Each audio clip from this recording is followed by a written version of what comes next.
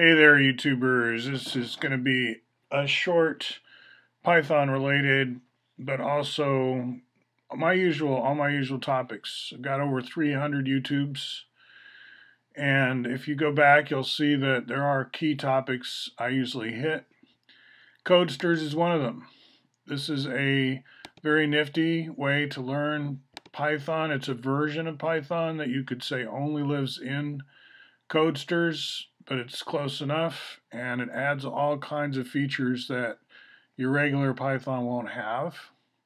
And I'm in the middle of teaching kind of a School of Tomorrow class. We're using the tools of tomorrow in the classroom of tomorrow. They all have, you know, not a scientific calculator. They all have their own desktop computer as is necessary, and they're in a college class. It's already well equipped not unlike my Reed College class, right? So this is another one of those summer schools.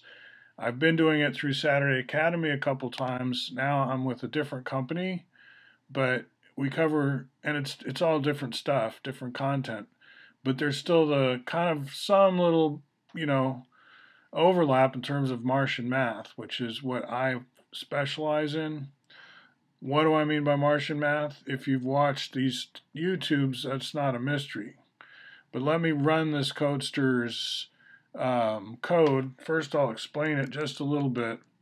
We're basically flying on the Green Tortoise Airlines. We used to have Green Tortoise bus on the west coast here, so I'm kind of alluding to that. But really, it's just turtle graphics, the standard Seymour Papert Mindstorms kind of, you know, robot control except it's a jet airplane. Turtle Airlines flies to India or Asia, points in Asia from Detroit, Chicago area. And what I wanted to see was what that looks like using a Fuller projection. So when I hit the green arrow, it imports the Fuller projection from across the land, some server somewhere, right? We all have access to these things. And you can probably see a turtle right in the middle of North America. It's color coded with temperature data. It's a little bit hard to see. The color is Navajo white. You can see how I'm setting the color over here on the right.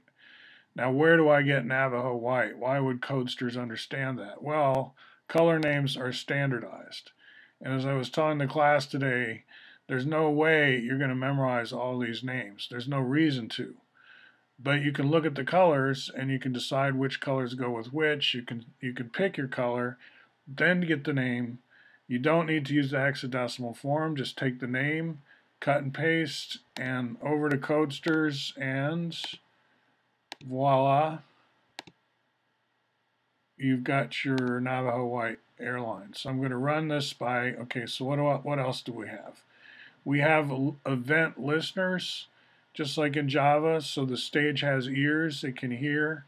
And when I click on the stage, it's going to fire the stage.eventClick callback. In other words, oops, just lost it. This happens a lot, by the way. My mouse will, for some reason, it's too sensitive, my touchpad, and I get thrown away from my picture, from my project. So let me run this before I lose it again. I'm not going to retape. We'll just accept glitches as they come part of my aesthetic and click on the stage. So there's the turtle flying fairly slowly. It's actually looping through this fly function. Um, it's it's run the it's running the fly function one time, but inside the fly function, it loops over and over, only going one increment as it flies. This would take hours in reality. I was telling them today the total amount of time they're going to have in class is about the total time it would take to do this flight. And I was trying to explain how when you go from Detroit to Shanghai or something, you basically fly due north. Whereas if you're looking at some other classroom projections, you might conclude you need to fly due uh, west to get to China. That's kind of ridiculous, right? So we're showing a polar route and we're doing it on a School of Tomorrow map and we're learning how to code in Python. And these kids are in another time zone for me, and they're closer to where that flight began, actually. And we talked about who'd flown where recently and stuff. Anyway, fun, fun. I guess that's enough for now. We'll talk to you again.